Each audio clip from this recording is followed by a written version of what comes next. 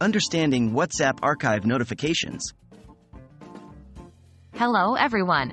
Today, we are going to discuss an important topic related to WhatsApp. Why am I not receiving archive notifications for my WhatsApp chats? This has been a common issue for many users, and we are here to address this concern.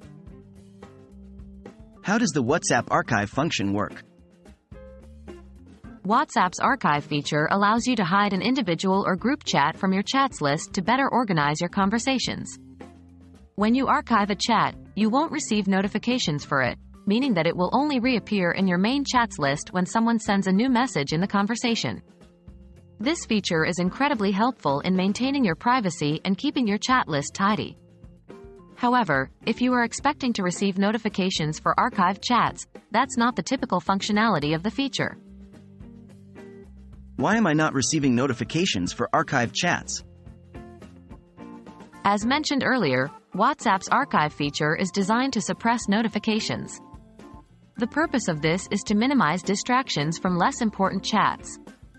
When a chat is archived, it gets moved out of the main chat list and into a separate archived section, and you will no longer receive notifications for new messages in that chat. So, if you're not receiving notifications for your archived WhatsApp chats, it's primarily because this is the standard functionality of the archive feature. To receive notifications, you'll have to unarchive the chats. How can I unarchive a chat? Unarchiving a chat is quite simple. Here's how you do it. 1. On WhatsApp, scroll down to the bottom of the chat screen. 2. Click on Archive. 3 swipe left on iOS or long press on Android on the chat you want to unarchive. 4. Select Unarchive. By doing so, your chat will move back to your main chat list and you'll start receiving notifications for it. In conclusion, not receiving notifications for archived chats on WhatsApp is a normal function of the app and not a glitch or error.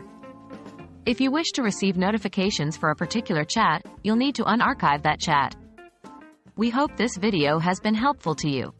Stay tuned for more tips and tricks on managing your digital life.